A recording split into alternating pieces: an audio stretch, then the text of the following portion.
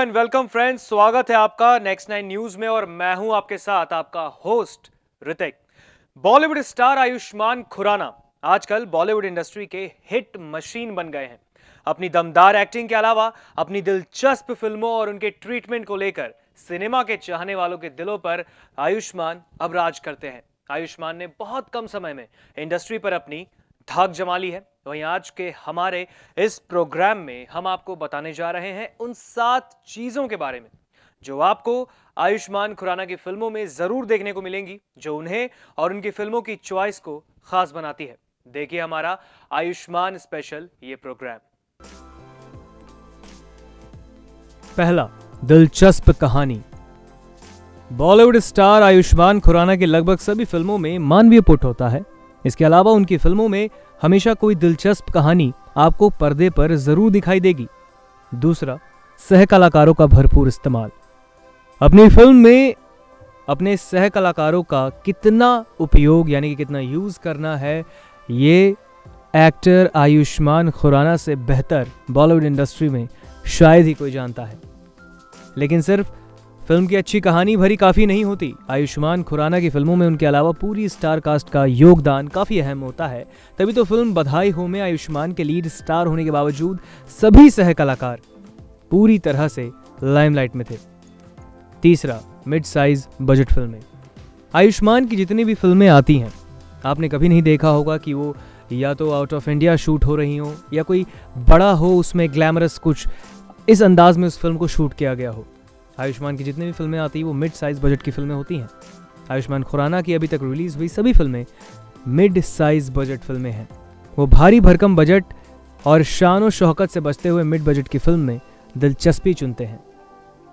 और बेहद दिलचस्प फ़िल्म भी चुनते हैं। चौथा, शानदार निर्देशकों का साथ। एक और खास बात आपको आयुष्मान खुराना की फ़िल्मों में देखने को ज़रूर मिलेगी। बॉलीवुड स्टार एक निर्देशक पर पूरी तरह भरोसा करते हैं और बेहतरीन डायरेक्टर्स के साथ काम करना पसंद करते हैं। पांचवा, मिडिल क्लास लड़के की कहानी।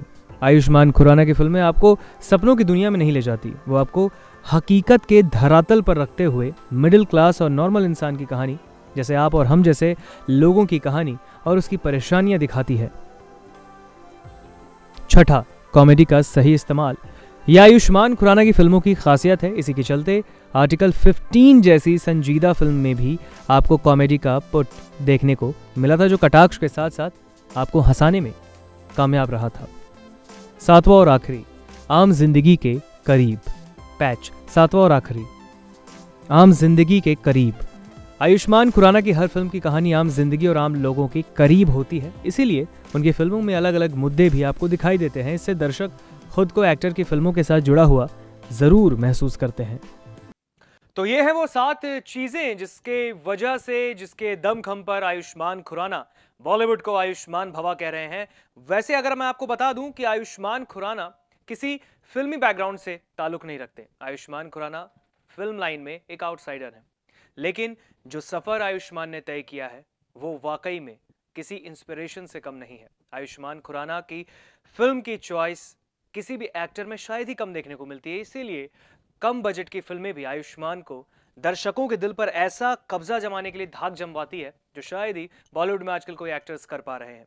आयुष्मान अपनी एक्टिंग से वाकई ऑडियंस का दिल बहलाते हैं, उनका मनोरंजन करते हैं और एक मिडिल क्लास बॉय की जो इमेज आयुष्मान लेके फ़िल्म के ज़रिए बड़े पर्दे पर आते हैं, उसे दर्शक देखना चाहते हैं, उनको देखना पसंद करते हैं।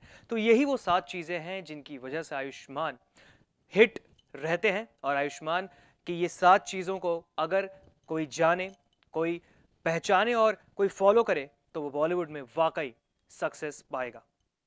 Thank you and take care